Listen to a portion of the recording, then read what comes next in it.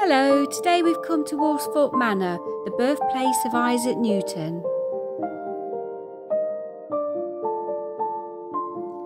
Isaac was born on Christmas Day 1642 in this small 17th century farmhouse situated in South Lincolnshire. Although this appears to be a normal Lincolnshire farmhouse, it is in fact the home of modern science. Owned by the National Trust, a tour of the house begins with a short video which summarises Isaac's time at the manor. Isaac was born to farm the estate, but didn't take to the lifestyle, and so, at the age of 12, was sent away to the King's School in Grantham. At 17, his mother decided he should return to the manor to run the estate. However, this was a disaster, and it was clear he was not equipped to be a farmer. And so, at 18, he left for Trinity College, Cambridge. When plague set Britain into lockdown in 1665, Isaac Newton was sent back home from university.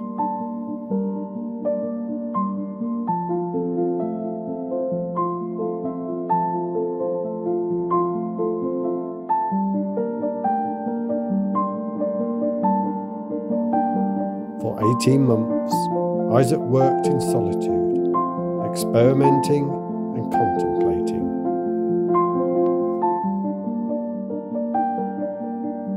And so began the most intellectually fruitful period of his life.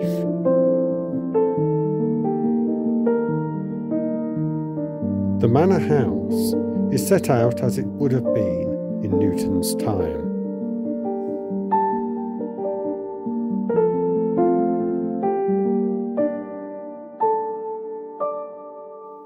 This room is Newton's chamber, where he made the discovery that by refracting sunlight on the wall, white light was made up of seven visible colours.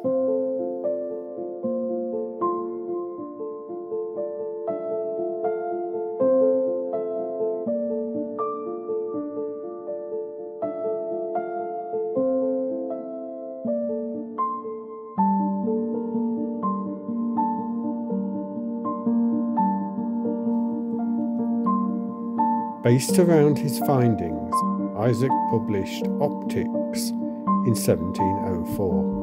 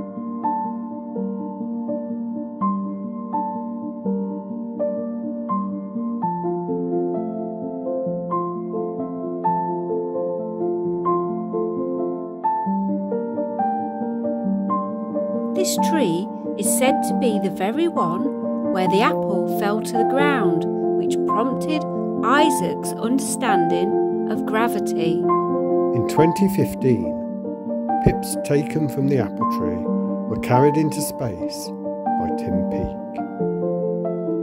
Having travelled in space, a sapling from the pips was planted by him in the garden at Woolsthorpe, next to the original Newton tree.